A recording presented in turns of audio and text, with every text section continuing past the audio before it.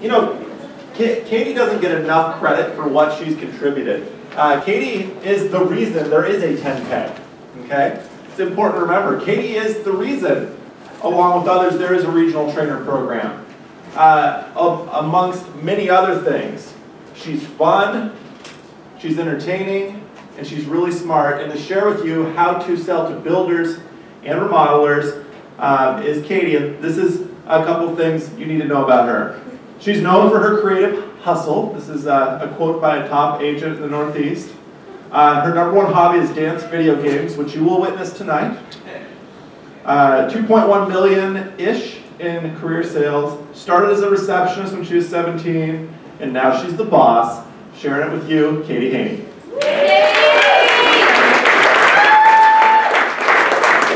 You missed the hashtag. Hashtag, hashtag I'm sorry. That's what my megachurch called it. Um, all right, so I came up here. Um, I want, first thing I wanted to say is we all own businesses for different reasons, and I went to this conference like a couple years ago for women business owners, and they said a, a really big reason a lot of people, not just women, but own businesses is because it's, it is their vehicle to it's their vehicle to give back to the community, and you guys are my community, and um, I hope I hope my intention is that you get some ideas, like spark some excitement or whatever. I hope you can take something from this because I've really enjoyed teaching some of this to a few of you in the room, and I've already got stories here of some really cool things that have happened. So I'm really excited about that. And so I'm going to talk about three things today. This was before John Broman's talk. I actually structured it like he told me to um, before I even heard him talk. But we're going to talk about number one, like state of the industry and trends, and um, number two, I'm going to give you specific ways you can change or add to your script. Because I mean, I'm not like I mean, we all we're all on the realtor program, but like we've all sold to, you know, to, to other businesses. I know a lot of you sold to you know dentists, insurance agents, people that sell. I don't know. There's so many things that people sell that they buy gifts for their clients. So, um, but I'm gonna give you some specific things that you can add, and some of you might have appointments with builders this week, and you might be able to sell a little bit more. Um, so, state of the industry, how to change your script, and um, number three, will be just like how to do it. Like, here's what to do. I hope you guys take some action on it. And um, that's it. So, yeah, I always like to bring something to the community to give back because I've got I've gotten more than I deserve from Cutco and from all of you. So that's uh, I always like to bring something. Most years I bring my babies, and that's a benefit to everybody because have you seen their faces? It's ridiculous. Um, but my super husband and baby daddy is taking care of them this weekend. They're having a blast. I keep getting pictures. I brought the 10 pay last year, and that actually we have to give credit to Mara for that because she created the 10 pay ultimate set like over a decade ago, and then I stole it for the realtor program. Um, and then number three is you know that, I brought this year. I want to maybe add a new market. Um, I want to give you guys some numbers just so you can kind of understand how this might, I mean, this is not like going out and selling to builders. I don't think it would be something that would like replace your business. It's not going to replace mine. There's this guy in our market, um, Nick might know him, Diane, AJ Vogler. He's a, uh, don't know what he sells, realtor or something, but he's always posting like motivational quotes. And the other day he posted the average millionaire has seven streams of income. So I hope maybe this can just become another stream of income for you like it has for me. Um, so how I started with this is, um, I don't know if you guys ever heard John Ruhlin. He uh, moved to St. Louis from Ohio you know, like around 2009 or 2010. And he, we, were, we were chatting and he's like, okay, you guys need to join the Home Builders Association. Because John does a ton of business with builders and, you know, I don't know, NASCAR drivers and God knows, Orlando Magic, you know, suite owner or something. But he's, he sold a lot of builders. So he moved to St. Louis and he said, you know, somebody should, we should join the Home Builder Association. It's really like thriving and there's a lot of good people in it. So, um, you know, we went ahead and joined. And the first year didn't really do much with it. The second year, I started to actually like go to everything, and I was just kind of like a sponge for new um, information and just kind of learning about the industry. And um, in the first year, I really didn't sell anything. I was just there, like making friends. And um, to give you guys some numbers, I did a quick Google search there's basically, a, there's some Google search, like there's 1.1 million realtors in the country, so that's kind of our market. But then obviously we sell lenders and a lot of people in the real estate industry. To give you an idea of builders, there's um, there were 73,000 builders in 2005, and obviously the economy crashed in 2008, and that obviously really affected the home building industry because people couldn't get loans and nobody had any money. So now there's actually about 34,000 builders. So it's a lot different than, you know, there's 34,000 builders and there's 1.1 million realtors. It's a bigger market, but if you guys think about like what what types of things are in houses? Like what goes into a house? Anything you think of right now, hopefully you saw like 30 things, there's someone that sells that stuff and they give gifts to their clients. So it's kind of an unlimited opportunity and it's really exciting. So um, that's something to keep in mind as I give you some tips on number three. Um, you know, there's not just builders, there's a lot of people that service the builders and those can really be some of your very best clients. Um, so let's see, so thank you to Ruhlin for making me join the HBA and then not paying me back to be in it. I'm just kidding. Um, so anyway, number two, um, I'm going to talk about just how to change your script. Really what I did is I just kind of like started doing the realtor script for builders and then they would just be like, they, like it would be over their head some parts, so I was like, oh, that doesn't apply to them. Or they'd be like, actually, this has worked, so I would just add that to my script. So I'm still learning. I, I, I, I added like 85 new clients this year, so I still have a lot to learn, but um, this is what I've learned so far. Um, the first question I ask a builder or remodeler or whatever when I'm meeting with them is, do you have a gifting system in place? A lot of them don't. It's not like realtors where like that's taught. There's really, look, actually a really cool thing about the building industry is they're not marketing experts like realtors are, or realtors are supposed to be. Um, they are, they're, they're not marketing experts. If they're bigger, they might have a marketing department that's really good. Um, and those have been actually really good resources for me, the marketing departments of big builders. But um, a lot of them don't know anything about like referrals and they just know how to build a house. They just know like they've been you know working with dad or mom, no, more like dad since they were you know younger, putting up the walls and stuff. So do you have a gifting system in place? And a lot of times the answer is no. A lot of times like they maybe they've done some stuff, but you know what I would say is yeah, most that's cool. Like most people, most builders like either give gifts or know they should give gifts but they don't really have a system in place. And so I kind of go through the, the whole script that's basically the same as the, as the realtor script. But um, one thing that I talk about, oh, actually, this is like random, but I just have it in my notes here. Uh, they don't like red. I, I, like, they don't buy red. I have like one builder that buys red. it's, they're just like, ugh, no, never. So yeah, I guess you can show it, but most of them are buying the white. It's kind of like, they're not, it's not necessarily like, um, they're not really into like cheesy marketing. It's all about like classy. And a lot of times I do the logo like one third of the size that it would be on a realtor um, piece. Like they ask that, so they kind of like want more subtle, classy branding. Um, I take out the tax deduct deduction because that doesn't apply. And um, one thing that's kind of cool about builders is they can basically like they give the bill to the client, so like they can roll the price of the gift in with the um, the house. So you're, you know, got $200,000 house, they can roll a $200 gift in to, I know it sounds really shady, but it's, that's just what they do. So uh, you can mention that. So there's no like tax deduction. Um, one thing I talk a lot, a, lot, a lot about with them, like the biggest thing I focus on is just that it's a system in place. And what I say like verbatim that always, like they're like, oh my God, that's totally what I think all day, is, um, you know, we know that your priority is not really gifting or, or marketing. Um, your priority is to find the next best tract of land or design the next best floor plan. So those are kind of like two words that are yeah. So your your priority is not like gifting. It's um, it's really finding the next best tract of land. You know, designing the best floor plan, finding clients. So basically, you you know, we know gifting is like important, but it's like 600th on your to-do list. That's what I always say. I kind of laugh. So it's 600th on your to-do list. So really the big, the big reason we have so many home builders that use this is um, it's a system in place for you. We're going to get you a year's supply of gifts to keep on hand. So you have them for your closing. Um, you have them for your charity events. And I'm going to actually like dive deep on this because it is like probably sold me a ton of Cutco this year. How many of you guys talk about charity auction gifts on your realtor? Okay, cool. Yeah, I wish you raising their hand. So like, and I don't know, um, Okay, so we'll talk about that in a second. Um, another, I don't know if any of you do like re one-on-ones. I got this from Jeff Teresi. He calls all his realtors and sets up re one-on-ones with them. And the way he, you know, phrases it is, um, okay, so he calls them up and just says, hey, Mrs. Realtor, um, one thing, I want to let you know one thing I'm doing this year with all my clients is I'm setting up a time to meet with you for either 10 minutes over the phone or in person to go over some new enhancements to our gift program. And just for meeting with me, I'm gonna buy you a piece of Cutco um, for your kitchen. So you guys should be doing that for all your realtors. And if there's there's five points I go through, which I'm not going to dive into them unless you want to know at the end. But the one thing that I've like started saying on that appointment is I ask them, have you ever had someone hit you up for a donation for a charity event, like a silent auction, like giveaway? And most realtors and every single builder will be like, oh my gosh, yeah, because a builder's job is to like put the billboards up, get in the community, know everybody. So they're like all over the place. So they, they go to like a million charity events a year and they're always you know, giving something at it.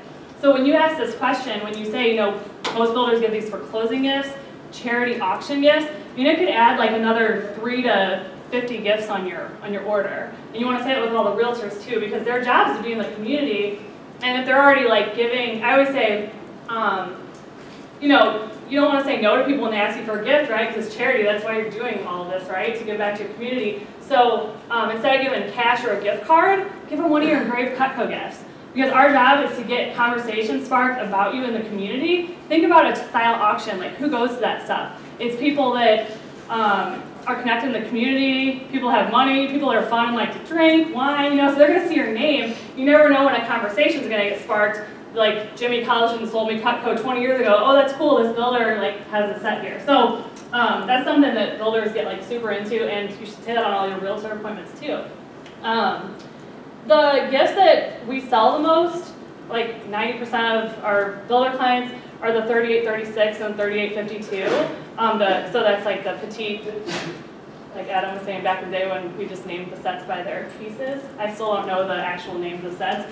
Um, the petite Santoku and the Santoku trimmer is what we sell the most of, and then the, um, 3852, which is the shears and Santoku trimmer. And I, I mean, I cut a penny on every appointment. It's like the very beginning when I talk about Cutco, I always cut a penny. Like builders are usually guys, and their guys love the penny cut. So you should do it for everybody. But um, okay, this is something you guys might know this already, but I just discovered this is a really awesome tool for the realtor program because I've been able to get in with realtors that like I never see at team meetings. They're never at anything, but the really good realtors that have come up with like super good marketing and have just gotten good at their job, they are marketing to builders. That's it. So like two huge realtors I've got on the program, like the order, you know, 100 or 150 gifts, is because they are at all the builder stuff that I'm at. And before they wouldn't give me the time of day because I never saw them. Like I didn't, they were, their name was like up at the, all the office stuff, but I just didn't really have a relationship. So is Nick in the room?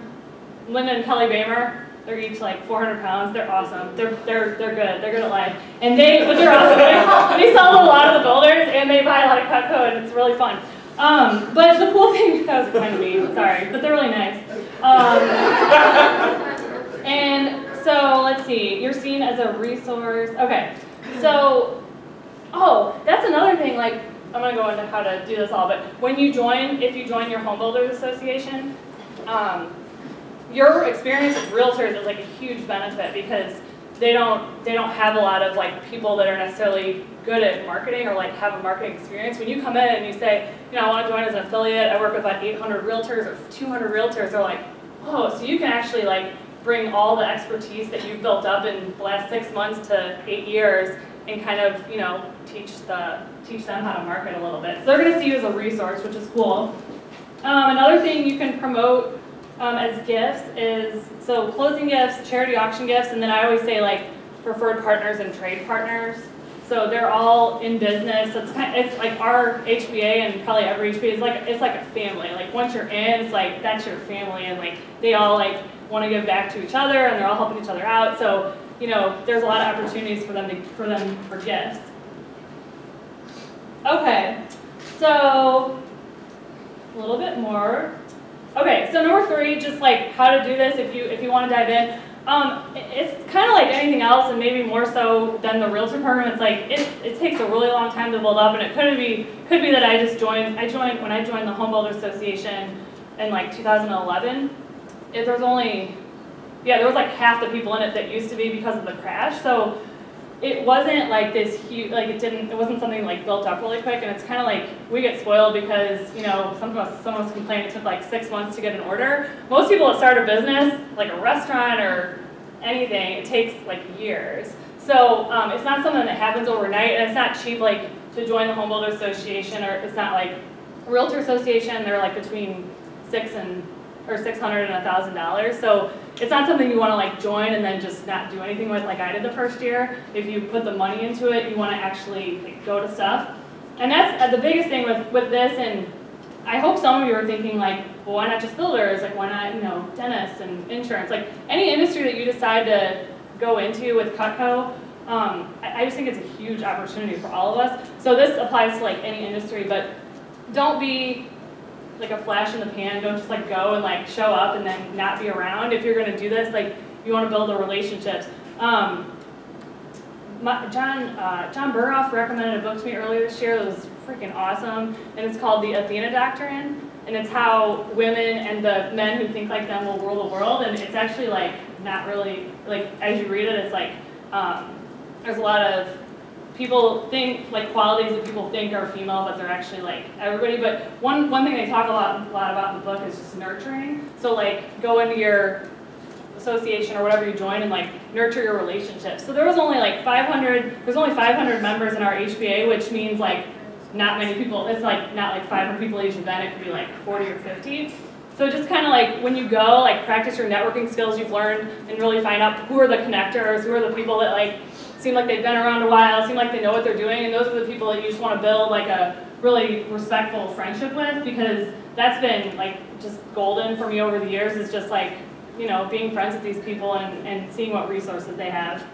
Oh, this is kind of a funny story. Um, one of the reasons I joined the HBA too is like my uncle Phil, Uncle Phil. He's been in the home builder industry for like 20 years, and he told me since I was 16 I should I should just like get involved with these people. And every time I looked into it, I was like a poor college student. I was like, I'm not gonna pay $600. I don't even know what this is. But um, so it, when I joined the Home Builder Association, my name was Katie Fingerhut, so I could piggyback off his last name, but I was Katie Heaney in the realtor industry, so it's kind of, I had two different names, which is kind of weird. Okay, so um, uh, this is like random, but for anything in your business, call all your referrals. I think we all could benefit from being just more organized, but just call everybody. Does anyone take Bold in here? What do you guys think of Bold? Bold's this like eight-week course that Keller Williams puts on. Bold, uh, and a Bold stands for business objectives, a life by design. Um, but I went through like that eight week course and it was it was just really awesome and they had an activity one day where we just wrote down like three people that we knew and we just reached out to them and did our like referral script and that's what led me to a lot of really cool people. So anyway, random thought, call all your referrals, find a way to call everybody because you never know where your relationships are gonna lead. Um, okay, so one thing I just want to say also is just to diversify. Um, yeah, I said this before, but average millionaire has seven streams of income. So think about ways that you can, there was a conversation I had with actually my region manager a few years ago, Mike Muriel, and I was doing like a million different things and I was like involved in just like regional trainer and helping Hal write Miracle Morning something. I like had a million things going on and then obviously like two little kids. And he was like, you know, like, have anyone ever taken CVI? Yeah. Yeah, so like on my CVI, I was like, the three builder, merchant, and uh, banker were like pretty even, and then my innovator was like super low. And he said if you bring that up 10%, then it actually brings everything else up 90%. And I said, well, how do I how do I innovate more? Like I'm not that innovative. And he said, just schedule it. And so I just started taking just stuff I didn't want to be doing out of my schedule and putting more innovation time in. And now it's like tons of my time is spent innovating, and that's like where I'm thriving, where I'm in my flow. So try to figure that out. Um, what what do you need to spend more time doing? Because maybe it's not like you need to delegate more to do more appointments. Maybe it's you need just like to put in more stuff where you're in your flow because the more you're in your you know flow and place that you need to be in is your business is going to get a lot better. Let's see. I'm sure you guys have some questions and I talk really fast, but yeah, this, this program isn't for everybody. I hope you guys got some ideas. I hope this can be something you add to your business and I hope you have some cool success stories, but um, I think it could be a really cool way to sell a lot more Cutco, and that's definitely what I want everyone in here to do. So, I hope you guys liked it. What questions do you have? So How much time do we have? Go to your associations and, or association, you do your thing, you network. Do they have CEU credit courses, Oh, do they have yeah. stuff like that? How am I actually speaking? I wanna actually. Oh yeah, so what I did is I joined, and then I just asked, um, what are all the consoles that you have? And they have like sales and marketing at ours, and professional women in building, and custom home builder, and like green building or something. No one knows that. But anyway, um, I just like asked how much it is to sponsor, and it was like $150 to sponsor each one. And then I got to speak for three minutes in front of the group. So that, that's what I would do. The other, I just joined a one in, the one in Illinois, and they don't, you can't speak at anything. So I'm just gonna call my clients and say, what's the most fun events? Because that's like, that's a, that's, I mean, as many of you found with realtors, the best way to network is just go to fun stuff. Go to their bowling stuff. There was some like boat booze cruise. I don't think I'm gonna go on that, but you know, there's a lot of like fun things you can, fun things you can do. But ask if you can, what councils they have, and how many people are on the council, and then just go sponsor those. Yeah. I just wanted to share with everyone in the room, I've spent a lot of time with Katie this past fall, just like calling her and connecting with her about the builder stuff, because I really didn't know where to start.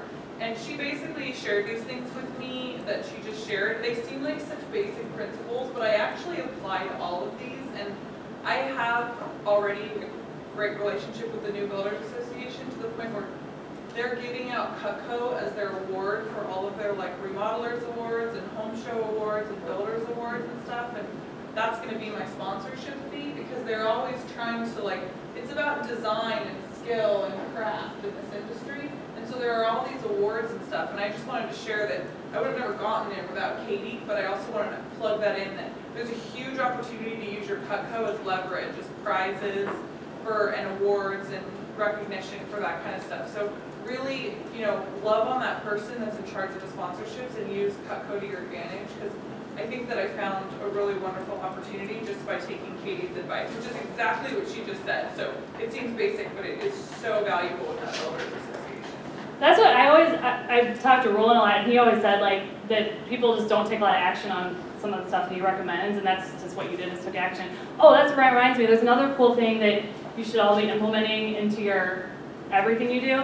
Um, there's some stat, like, I, I remember hearing a talk like eight years ago, some like conference call that John Ruhlin was giving, that he like put, he has a certain budget every month for giving Cutco back to people. Um, so, and then I read something the other day that said you should put twenty percent of your, rep- um, twenty percent of your profit back into marketing. So something I specifically did to like implement that is anytime I go to an event or a trade show or just something where um, like I was, I talked to a lot of people throughout the day. I try to take good notes, and then I identify the top 10 to 20 percent of prospects, and I order engraved Cutco for them with their logo. And it's like, I mean, it's a, it's an expense. It's definitely like an investment, but those, those turn into sales a lot of the times. But don't just do it for everybody. But um, just always be thinking about like who are my top 10 percent of like prospects right now, or maybe clients that were great that you want to get back and like get back on the program and invest in Cutco for them.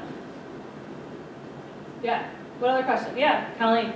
Um, the way that you sell it, just because I never really focused on that industry, obviously work with a lot of realtors, they have a lot of meetings and events that you're speaking at, and then able to close, because they're basically sold in that period, or? No, it's it's like a lot of like one-on-ones and um, there's not. I mean, just like, like the the only time I've really spoke at stuff a lot was were the council meetings.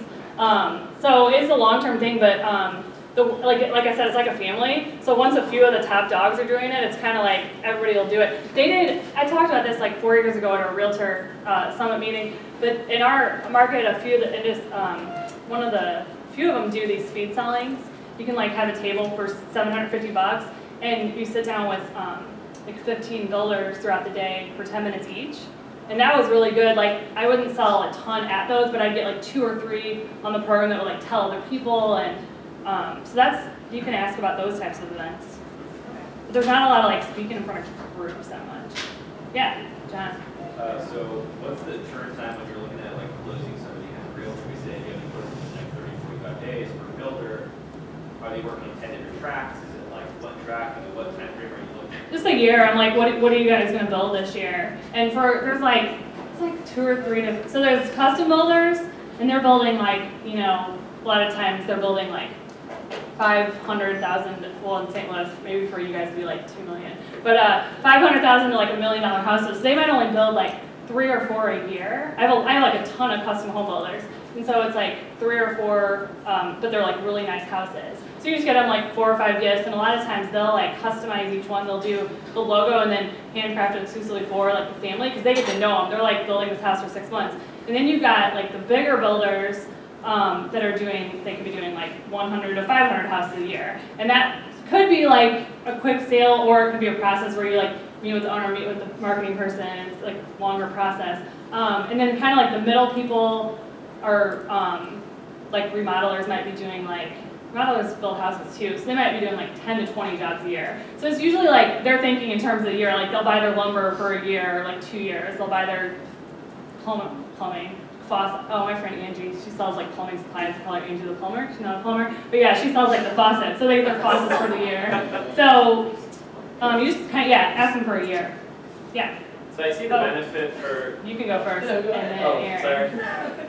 I see the benefit for remodelers and, and like custom home builders. What is the benefit for like a, a builder that's building a hundred homes to put a piece of Cutco in each home? What is, what is their benefit or return on investment?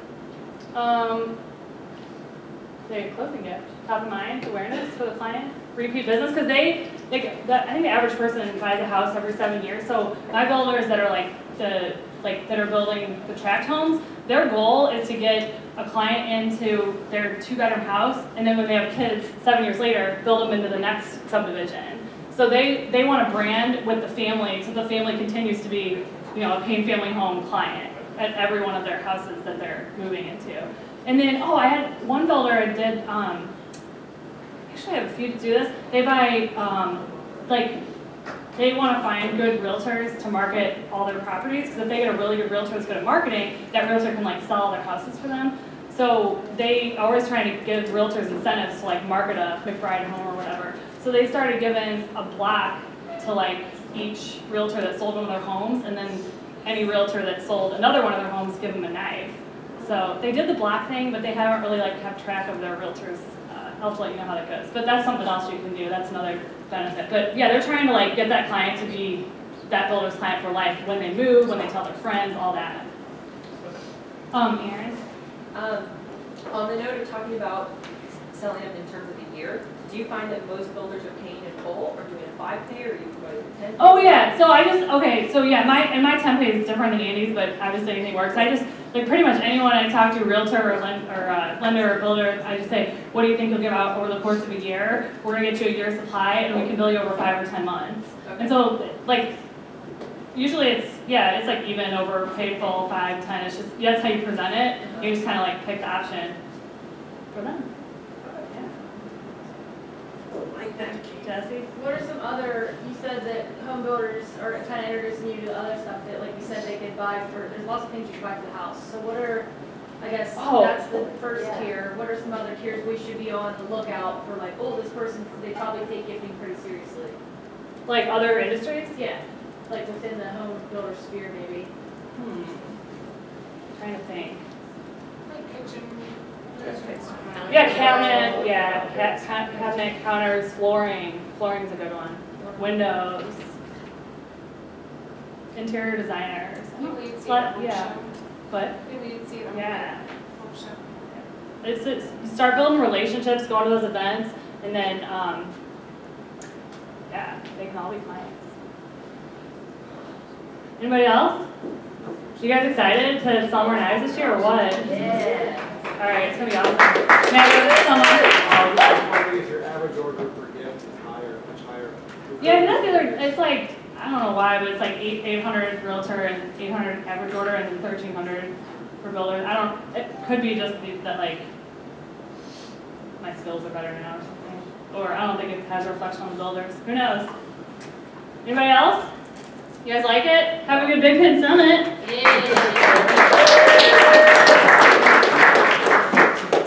Yeah, so yeah, it's a microphone. And you guys all better be dancing tonight, because I will be.